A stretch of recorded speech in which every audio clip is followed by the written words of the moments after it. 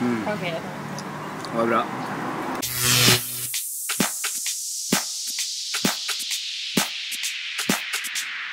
Mitt navn er Natt Transet. Alt startet i jungelen, hvor jeg levde på trehytte blant naturen og ble oppvokst med å måtte lære å ta vare på meg selv. Jakte, fange egne mat, eller spise mat som mange ser på som delikatesse. Nye og mye ting har inspirert meg gjennom tiden. Min verden stunset raskt etter at jeg fylte ni år. Mitt første møte med Norge. Et helt ubeskrivelig livsendring. Men mitt bakgrunn har mye av det formet meg til den jeg er i dag. Når man vet man kan oppnå én drøm, hvorfor ikke oppnå flere?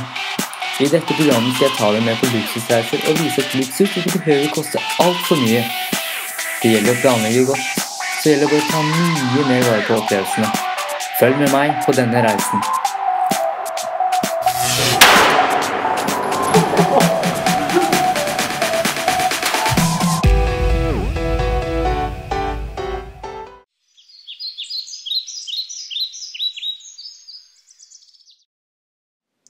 I denne episoden skal vi besøke Phuket, Thailands største øy med ca. 300 000 innbyggere. Phuket tilbyr et stort spekter av spektakulære ferieanlegg. Phukets sørkyst har de mest populære strendene. Koh Pangnabe og Patong Beach er populære steder. Dykking, snorkling, surfing og seiling er bare noen av aktivitetsmulighetene. Inne i landet venter skogkledde åser, fjell og klipper på å bli utforsket. Bli med og opplev denne reisen.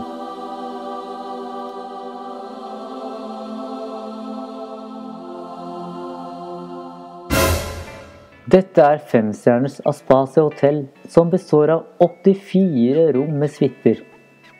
Hotellet ligger fredelig til i åssiden bare to minutters gange fra Katta Beach-stranden, og har to utendørsbassenger. Dette stilfulle ferieanlegget har et spa og tilbyr gratis internett. Rommene kombinerer arkitektur i maya-stil med retrodesign og har en egen terrasse med utsikt over den tropiske hagen eller havet. Alle rommene har kabel satellitt-TV, DVD-spiller og minibar. Minste rommene er 65 kvadratmeter med egne terrasser. Koster ca. 700 kroner natten. Største rommene er på ca. 200 kvadratmeter og har flere soverom. Ca. 2000 til 3000 kroner for natten. Mitt rom er på 75 kvadratmeter og er en suite med havutsikt. Separat stue, spisestue og kjøkkenkrok. Og så klart en ekstra stor dobbeltseng.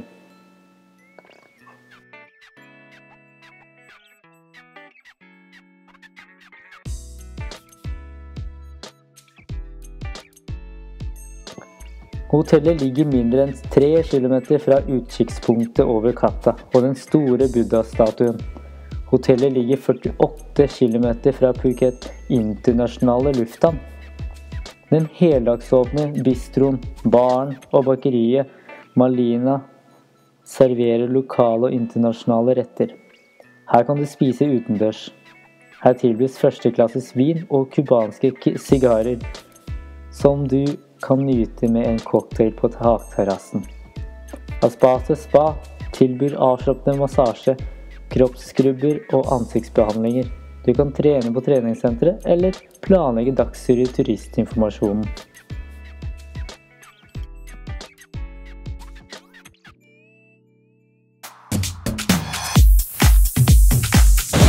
Good for my boy.